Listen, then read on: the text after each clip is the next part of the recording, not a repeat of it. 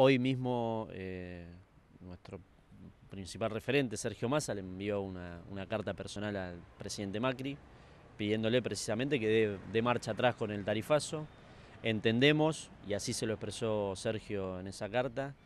que este no puede ser un problema que define el Poder Judicial o que lo termine de, definir o de solucionar el Poder Judicial, porque es eh, puramente de la política, la política en materia de servicios públicos que lleva adelante un país, eso lo impulsa el Ejecutivo y creo que lo razonable es que den marcha atrás, que vuelvan a, analizar cómo afecta a todos los sectores, a los diferentes sectores,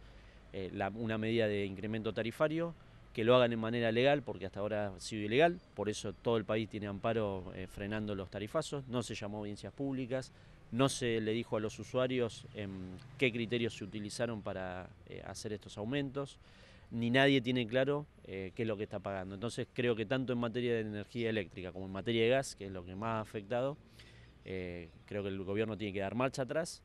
hacer las audiencias públicas, explicarle a toda la ciudadanía y a todos los afectados qué es lo que, cómo afectan estos nuevos incrementos tarifarios o de qué manera se pueden hacer y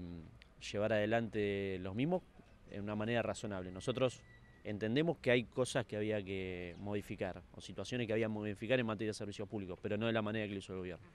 ¿Qué proponen ustedes? ¿Aumentos graduales?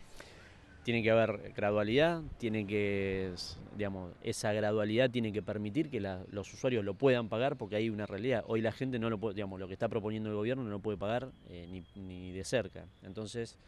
eh, la gradualidad tiene que estar también eh, mirando la posibilidad de pago que tienen los diferentes usuarios, ya sean usuarios residenciales, los jubilados, los pensionados,